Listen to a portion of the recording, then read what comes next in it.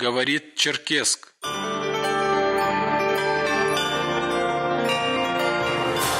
В эфире Вести, радио Карачаево-Черкесия. Здравствуйте, в студии с новостями республики у Марти Киев. И вот некоторые события.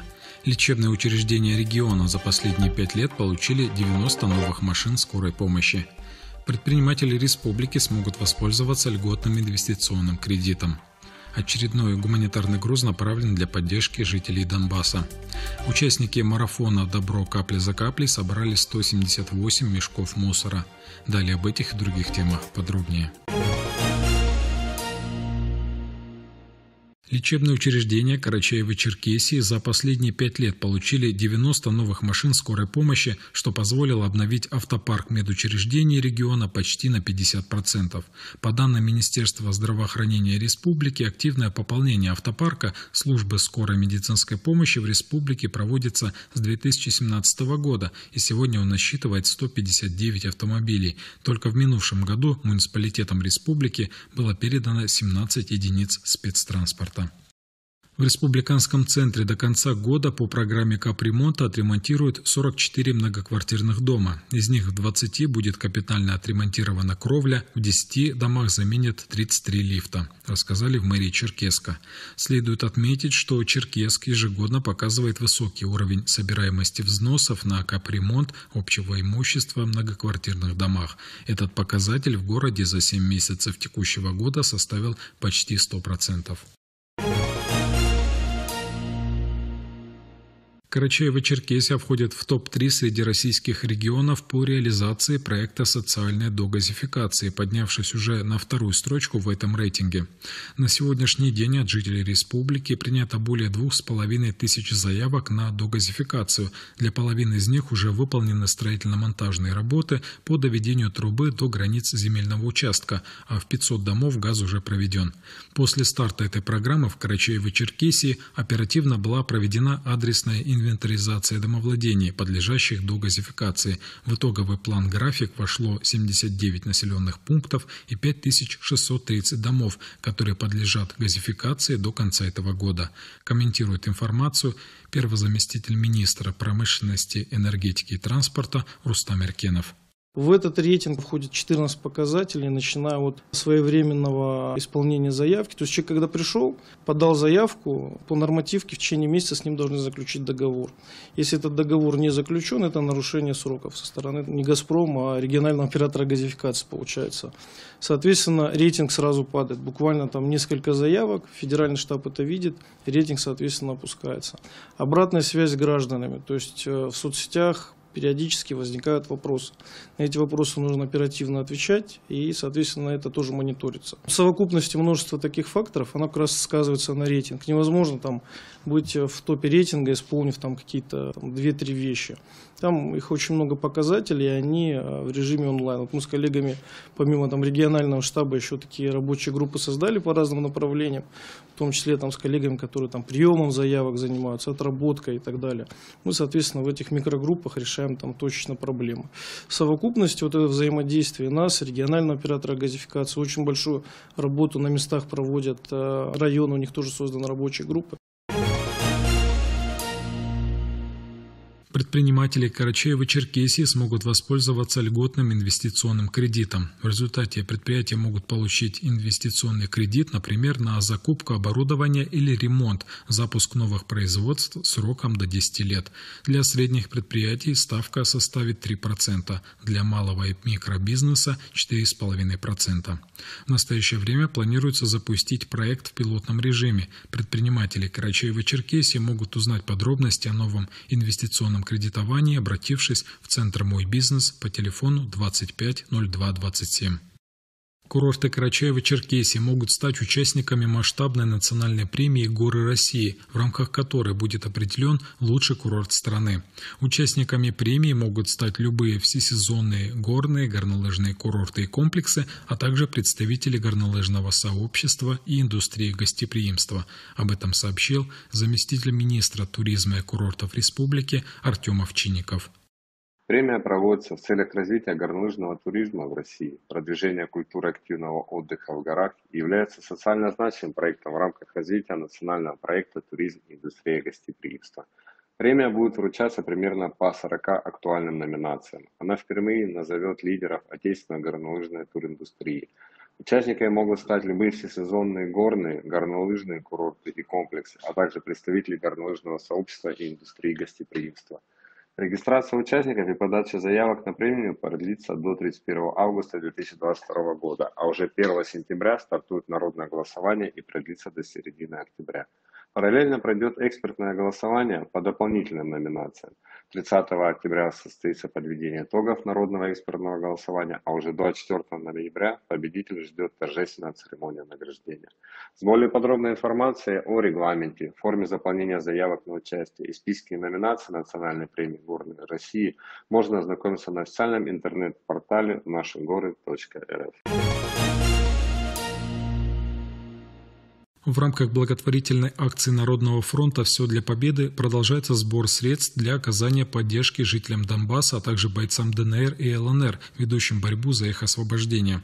Очередной гуманитарный груз, направленный в Донбасс из Карачаева-Черкесии, включил в себя запас лекарственных средств и медикаментов. По словам координатора по работе со СМИ Народного фронта в Карачаево-Черкесии Зураба Бимурзова, в отправленную партию специально были включены лекарственные наборы для ополченцев переселенцев и жителей, указанные на сайте в числе запрашиваемых. Отрадно, что наши земляки так активно отозвались э, на эти сборы, на сборы Народного фронта. Уже несколько месяцев э, трудовые коллективы, организации, простые люди подходят к нам, спрашивают, как помочь жителям и бойцам Донбасса. С нами связался пенсионер, житель Черкеска, который попросил помочь ему отправить денежный перевод из своей пенсии в помощь э, народной милиции. И сегодня мы этим будем заниматься. Мы отзываемся на все эти предложения, как большие предложения трудовых коллективов, коллективов, так и простых граждан. Мы благодарны всем, кто принимает э, в этом участие. В рамках реализации нацпроекта «Безопасные качественные автомобильные дороги» продолжаются работы по реконструкции моста через реку Джигута, расположенного на автодороге межмуниципального значения Усть-Джигута-Терезе. Это довольно востребованное и загруженное направление, а мост протяженностью 106 погонных метров имеет большое значение.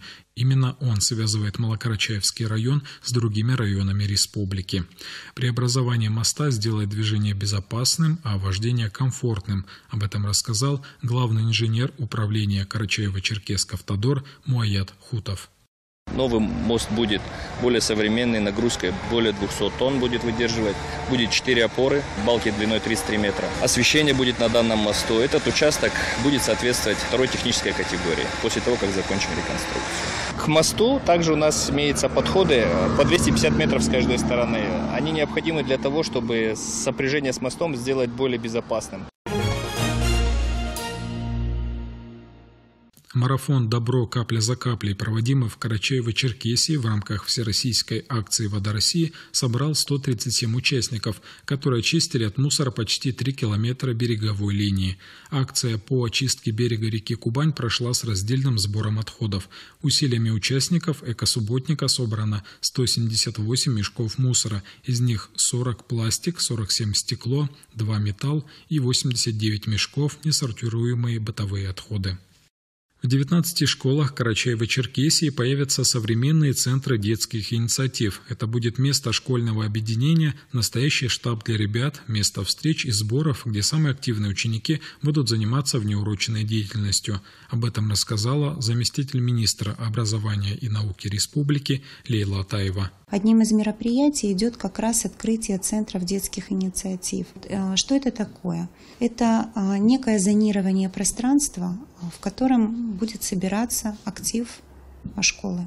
Таким образом, вот э, подобная зона рекреации для детей активистов – это российское движение школьников, это представители э, движения юнармия, это различные, может быть, школьные спортивные клубы, это могут быть э, дети, которые занимаются в театральных кружках, ну и разные другие активности, которые сопровождают сегодня жизнь школьника. И надо дать детям возможность своего такого пространства, в котором они могли бы обсуждать э, интересы, обсуждать какие-то возможные мероприятия, в которых они бы хотели принимать участие. С 25 по 27 августа в столице Кабардино-Балкарии Нальчике впервые пройдет масштабный музыкальный фестиваль «Кавказ Music Fest», в котором примут участие популярные артисты российской эстрады и регионов Северного Кавказа. Карачаево-Черкесию представят государственный ансамбль танца Карачаево-Черкесии «Эльбрус» и заслуженный артист Карачаево-Черкесии Ринат Джанибеков – Предполагается, что фестиваль посетят тысячи жителей и гостей Кабардино-Балкарии из разных уголков страны.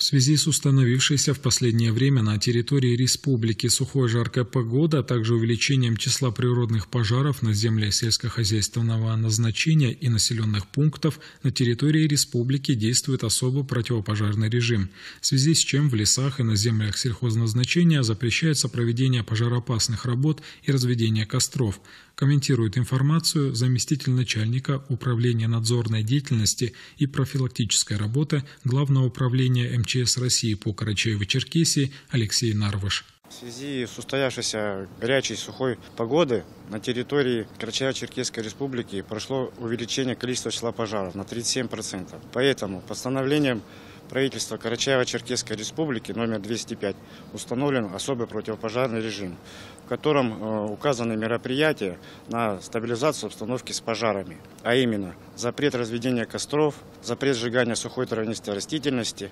пожнивных остатков. Вместе с тем, э, при введении особого противопожарного режима сумма административных протоколов удваивается, то есть на граждан от 10 до 20 тысяч рублей, на должностных от 20 до 40 и на юридических лиц от 200 до 400. С 26 по 28 августа в ауле Иконхалк пройдет праздник урожая Сабантой. Он будет приурочен к столетию Карачаева-Черкесии и 15-летию образования Нагайского района. Гостей праздника ждут народные спортивные игры, смотр нагайских дворов, концерт мастеров искусств, чествование тружеников сельского хозяйства, представителей интеллигенции, спортсменов, а также различные конкурсы и розыгрыши. На курорте Архыз в Карачаево-Черкесии завершился финал Кубка России по маунтинбайку в дисциплине скоростной спуск даунхилл. Спортсмены проехали трассу с препятствиями и техническими элементами. Среди мужчин победителем всероссийских соревнований стал представитель Челябинской области Иван Кунаев. Среди женщин золото завоевала Анна Скумбина, представляющая Пермский край. Следующие крупные соревнования Архыз примет 25-29 августа. Чемпионат России, первенство и спартакиаду по кросс-кантри. Радио России. Карачаево-Черкесия. Погода.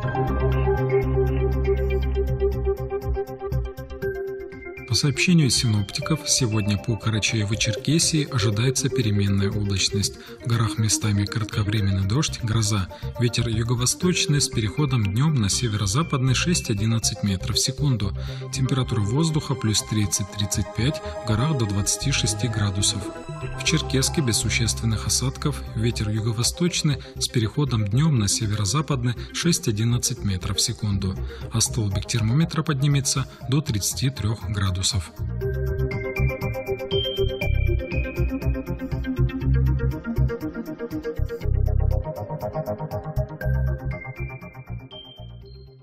Это все новости к этому часу. С ними вас знакомил Умар Тикиев. Берегите себя и своих близких. Всего доброго.